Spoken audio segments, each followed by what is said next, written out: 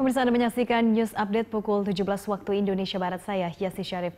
Asosiasi Televisi Swasta Indonesia atau ATVSI mengkritik konsep single max operator dalam rancangan Undang-Undang Penyiaran yang tengah dibahas oleh Komisi 1 DPR RI. Penerapan single max berpotensi menciptakan praktik monopoli.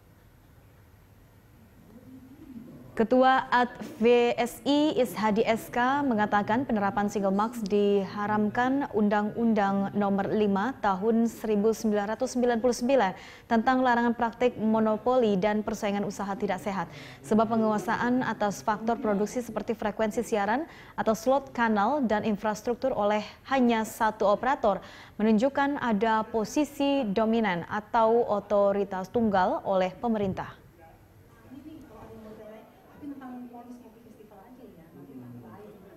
Hmm.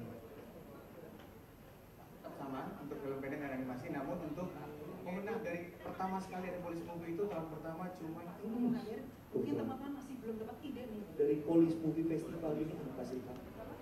Silakan. Kalau di Amerika sendiri ada tiga stasiun TV secara nasional, apakah monopoli? Jadi memang tuntutan industri, tuntutan bisnis itu memang harus sinergi, harus konsolidasi. Bahwa pemiliknya sekarang ada lima misalnya, tadinya sepuluh, tinggal lima kan? Menurut saya bisa saja terjadi suatu ketika tinggal tiga gitu. Karena di seluruh dunia seperti itu. Ngapain banyak-banyak? Sedikit tapi berkualitas.